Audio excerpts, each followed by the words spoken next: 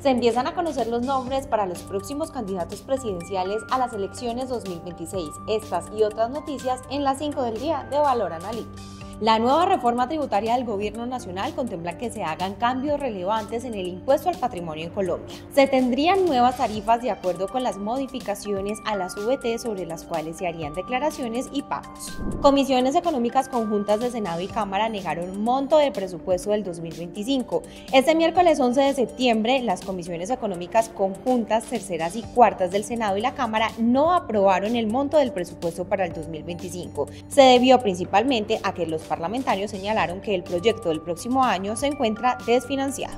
Juan Daniel Oviedo, actual concejal de Bogotá y ex candidato a la alcaldía, confirmó oficialmente que se lanzará en las próximas elecciones presidenciales 2026. Lo hizo en medio del programa Sin Mermelada, donde reveló sus aspiraciones.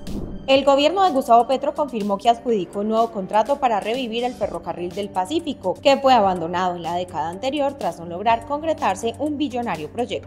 De acuerdo con el documento de la reforma tributaria del gobierno Petro, habría una serie de recompensas en dinero para aquellos que acusen a evasores de la DIAN. En nuestra página web valoranalytic.com encuentras a nuestro bot noticioso Valeria. Allí te pueden llegar diariamente las 5 noticias del día.